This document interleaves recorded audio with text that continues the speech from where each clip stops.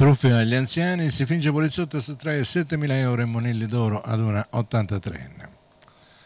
Agenti della Polizia di Stato appartenenti alle volanti alla squadra mobile della Questura di Siracusa sono intervenuti nei giorni scorsi per tre episodi di truffa ai danni di anziani. In uno di questi purtroppo la vittima, una donna di 83 anni, è caduta nel raggiro teso da un truffatore che fingendosi un appartenente alle forze dell'ordine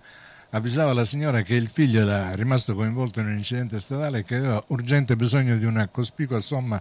di denaro per essere curato e che una collega sarebbe passata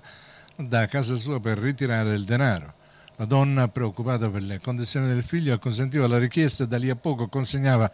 alla complice del truffatore 400 euro in contanti e monili in oro per un valore di circa 7.000 euro.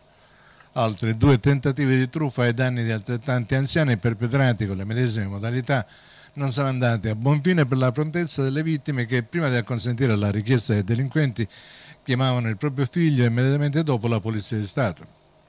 A seguito di questi ultimi episodi, gli uffici investigativi della Polizia di Stato hanno immediatamente avviato scrupolose indagini di polizia giudiziaria finalizzate alla individuazione dei truffatori. Nonostante la massiccia campagna di informazione portata avanti da tempo dalla Questura di Siracusa, con la collaborazione dei centri anziani di tutta la provincia, l'odioso crimine delle truffe perpetrate ai danni delle fasce più deboli della cittadinanza è sempre attuale e necessita una particolare attenzione sotto il profilo della prevenzione dell'informazione. Pertanto si ricorda a tutti gli utenti di fare la massima attenzione qualora ricevessero richieste sospette di denaro e nel dubbio di telefonare ai numeri di emergenza